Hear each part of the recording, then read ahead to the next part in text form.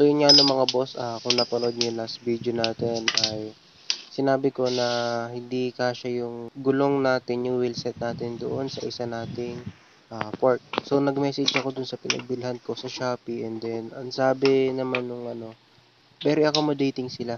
So ayun sabi, titingnan doon nila kung may magagawa silang paraan. So ayun, nagantay ako mga 2 days and then ang sabi nila ay mag-request lang ako ng bago na for only 100 pesos. So ayun, nag ano ako nag-offer ako ng 100 pesos and then 3 days lang ay dumating agad yung ating 27.5 na fork. So tinesting ko na rin at kasya na siya.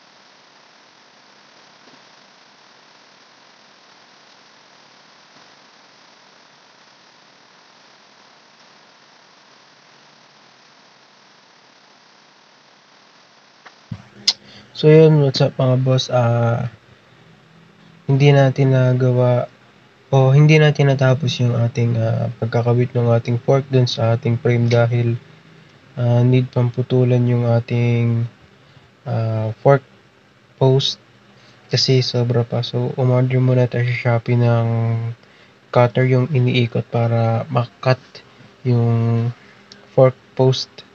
Ayan, para mabawasan. So, mag-spacer delete din tayo.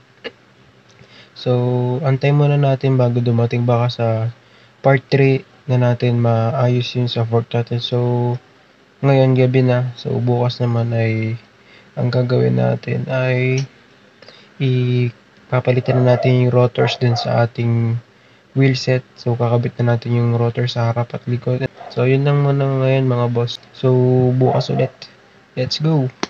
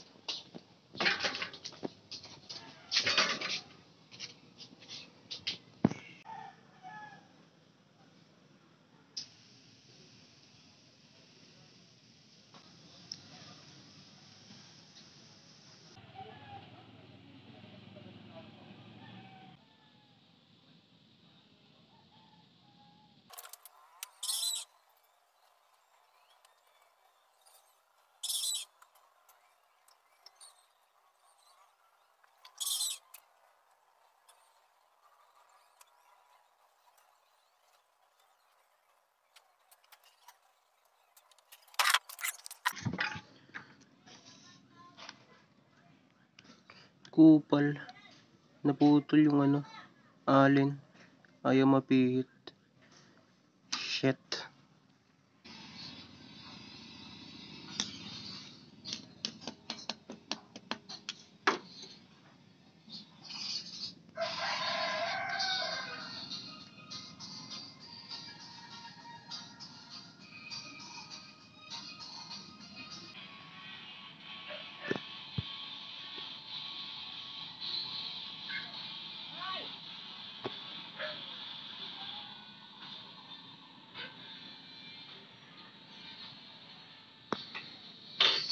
Hindi po ito sponsor pero Boss Gara, baka naman.